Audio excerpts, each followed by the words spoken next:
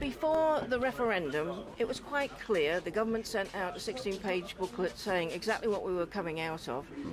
The choice was leave or remain. But somehow, after the referendum, it morphed into a deal. How did that happen, and why is Boris Johnson's deal no better than anybody else's? Well, what, what actually happened was, a week after the referendum, a new term emerged hard Brexit and soft Brexit. They, they, they, they, they changed the language. Hard Brexit bad, soft Brexit good. Uh, was kind of the way that they were trying to put this. Look, the vote was very clear. If you leave something, you leave it. You leave the institutions of the European Union. And what we've seen is three and a half years of blatant dishonesty by our political class. That then led to a so called deal, which actually was a new EU treaty. Mrs May negotiated it, everybody was horrified by it.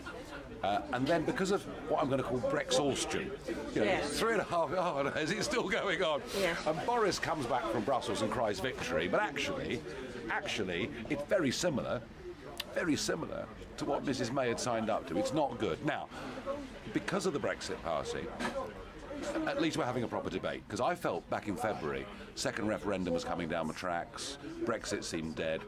We won those European elections. We've got this thing back going. And in the last couple of weeks, Boris has gone further. He started to talk about negotiating a trade deal. Now, who's against the trade deal with Europe? No problem. Yeah. Trade deal, fine. It's the politics of it that we don't want. So we have shifted Boris out of fear, I think, more than anything else.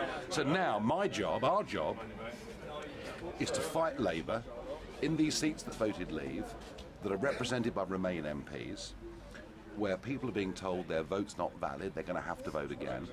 And we've got to get the Brexit Party voice in the House of Commons to hold Boris Johnson to account. That's what we've got to do. You, Brexit Party have come out with not a manifesto as such, because nobody believes manifestos these days, but a contract Yes. with the British people.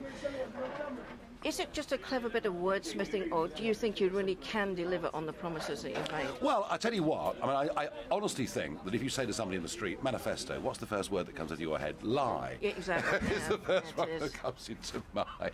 Um, so that's why I came, I came up with the idea, idea of a contract. Look, we're not going to form a government this stage of the game. We know that.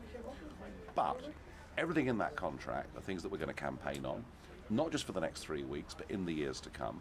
Because I just think, you know, our level of trust and confidence politics, politicians, and Parliament, it's bust, it's gone, it's broken.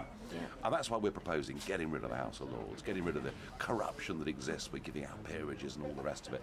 We want a different voting system that is more representative. Stop fraud in postal voting. We are the new radicals. We're the ones that want to change politics for good, and British politics needs to come into the 21st century. It needs a fresh start.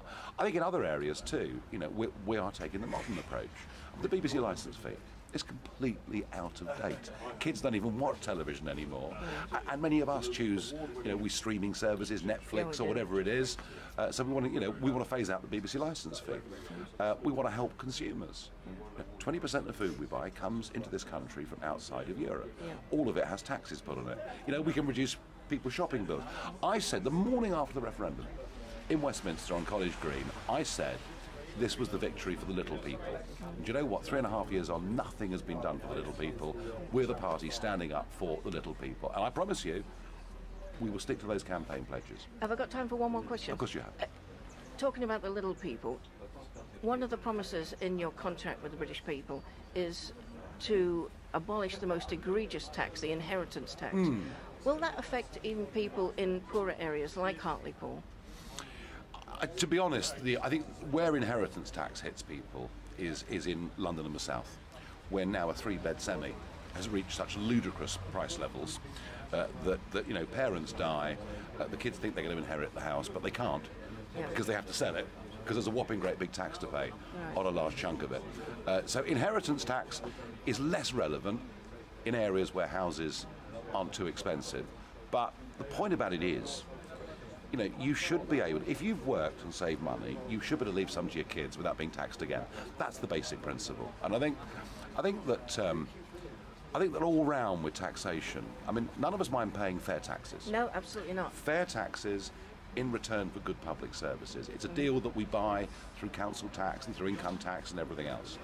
Uh, but I, but, but I do think, you know, for small businesses, little limited companies, you know, making tiny profits every year, for them to be for them to be taxed, for them to have to go to an accountant, to go through the expense of a time, I think that's an absolute waste of money. And, and, and what is clear, what is clear is if we do get a Labour government, we're all going to be taxed a lot more.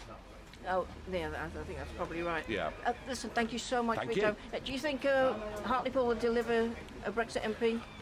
I hope so. Uh, it's a town with a very strong sense of identity.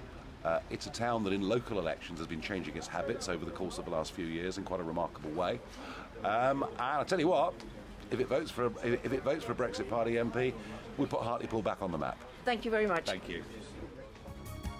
Please like and follow Hartlepool TV on Facebook and YouTube.